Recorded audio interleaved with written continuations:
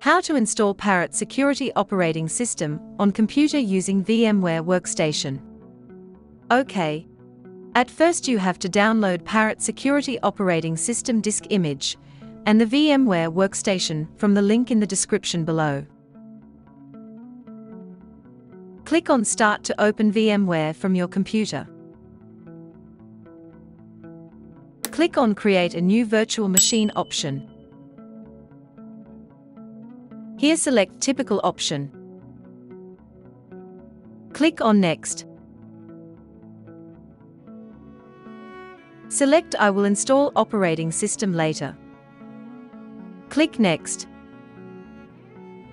Under Guest Operating System, Click to select Linux option. Here select Ubuntu Bit as version.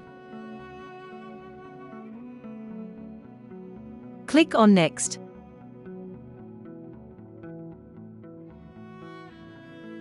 Select disk size that you want to use and the click on Next.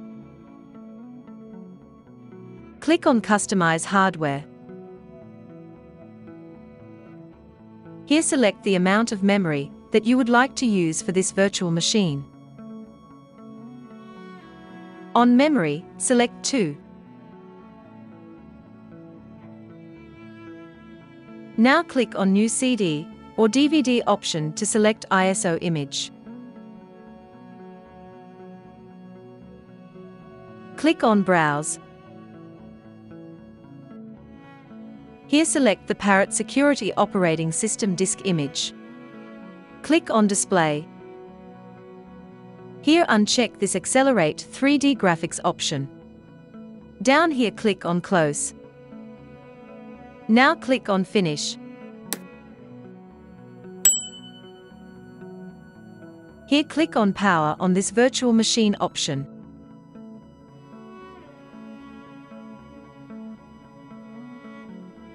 OK. Select Try or Install option and the click on Enter your keyboard to continue. OK. Here click on Install Parrot Operating System option. Here select the language that you would like to use.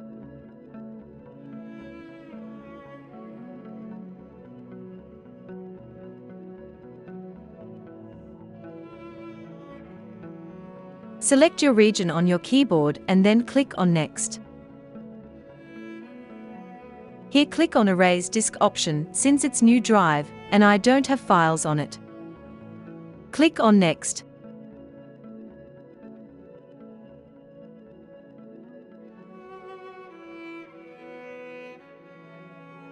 Click on Install option.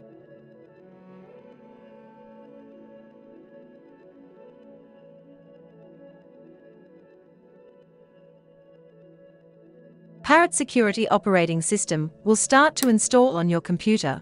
So here you have to be patient, because it will take a lot of time on this page, according to your computer speed. Please if you new don't forget to subscribe, and even share this video to your friends too. Done? the operating system will restart.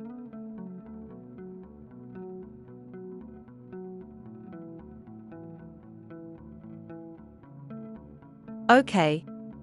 Enter your password. After that click on Login.